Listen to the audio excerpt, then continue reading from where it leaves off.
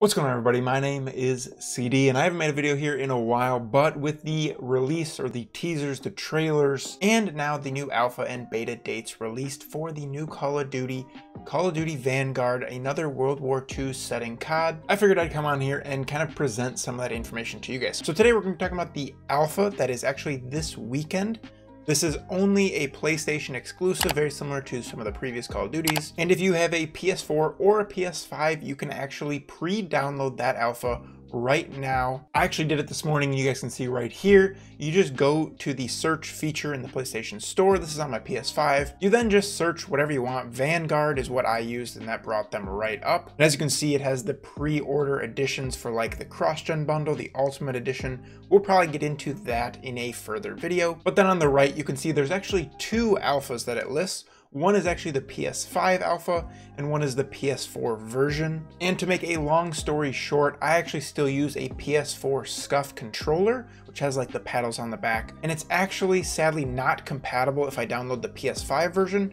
So for the alpha, I just downloaded the PS4 version on my PS5. The alpha will take place this weekend, August 27th to the 29th. It will start at 10 a.m. Pacific time on that Friday, the 27th, which is 1 p.m. Eastern time. But then for whatever reason, it also ends on Sunday at 10 a.m. Pacific, 1 p.m. Eastern. So you're not really going to get to play all day Sunday, but get your playtime in Friday and Saturday. Now this is just an alpha, so if you guys remember like Modern Warfare's alpha where the whole game is not available for you to play, but it's kind of for you to test out their new mode, whatever they're excited about as well as to get a feel for some of the guns, the gameplay, that kind of stuff. So Call of Duty Vanguard is not going to have gunfight per se, it's actually going to have a new mode called Champion Hill. And with a little research, this is kind of like gunfight, but almost in a battle royale sense. And what I mean by that is it's a fairly large map and I believe there's either 2v2 modes or 3v3 modes, but there is multiple teams, and I don't know the exact number, let's say four, five, six teams of two players or three players, and it's kind of the last team standing, or the last team with lives left